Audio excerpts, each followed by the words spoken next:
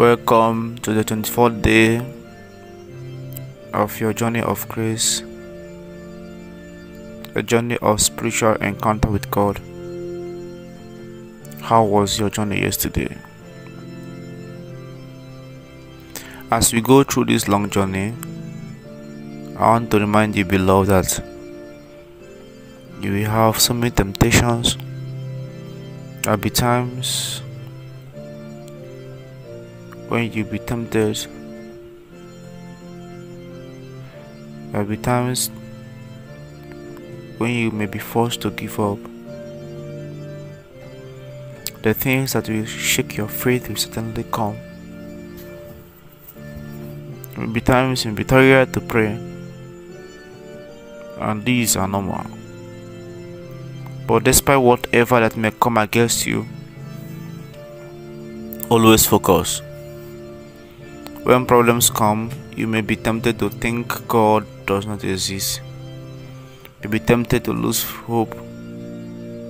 Sometimes, when you look at others who do not care about their spiritual lives, you begin to think that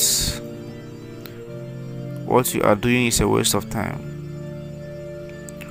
What you have to understand is that God does not overlook every sincere effort that you make.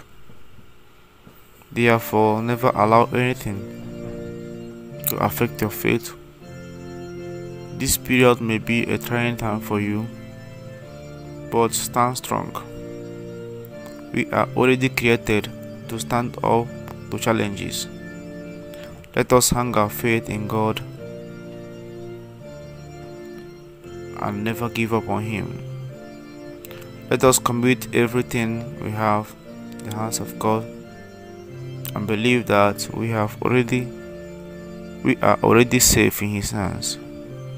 Beloved in everything, always stay close to God. It is the best place to be.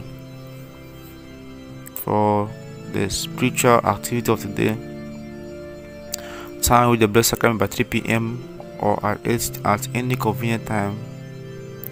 During this time, take note of all your fears write them down and cast them over to the Lord. After doing this, keep your faith in God rather than on them. Say your rosary, say Psalm 51, 23, 91, 106, and 100. Then meditate on Ephesians 5 1 to 20. May God bless you as you journey on. In Jesus' name, amen.